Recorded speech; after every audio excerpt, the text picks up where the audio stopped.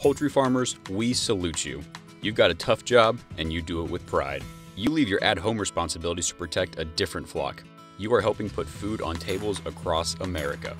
You work hard. The last thing you need is trouble with your flock. The risk of introducing infectious disease never goes away. But the strong biosecurity practices present on most poultry operations help stop concerns before they start. It's important to stay vigilant and follow these basic biosecurity practices to help protect your domestic poultry flock from avian influenza, particularly highly pathogenic avian influenza. Keep visitors to a minimum. Allow only people who care for your flock to come into contact with them.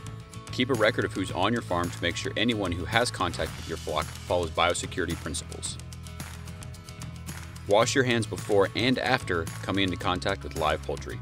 The germs you pick up after handling live poultry can spread disease from bird to bird or farm to farm. They can even make you sick. To avoid disease spread, wash your hands with soap and water.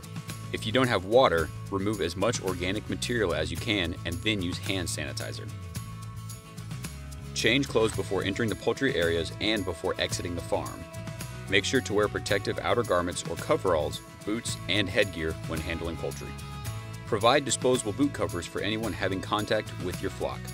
Another option is to remove any manure, mud, and debris from your boots with a long handled scrub brush and a disinfectant boot bath.